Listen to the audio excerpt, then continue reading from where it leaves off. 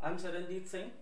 Today we'll be studying about Archean succession of India with special reference to the Dharwar system.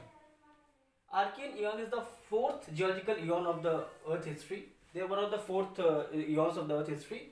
It is also known as ancient or oldest rock formation of India. The time span of Archean is 4000 to 2500 million years ago. Archean rock consists of two systems, Archean granites and gneisses and Dharwarian sediments. Archean rocks have been formed in the more than one way.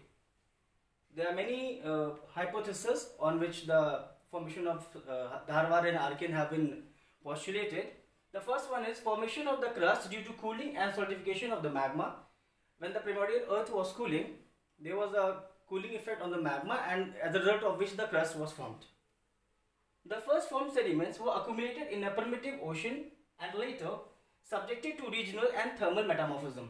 Now what happened at that time the temperature and pressure was so immense that the first crust which was formed was ultimately metamorphosed as a regional and thermal metamorphism.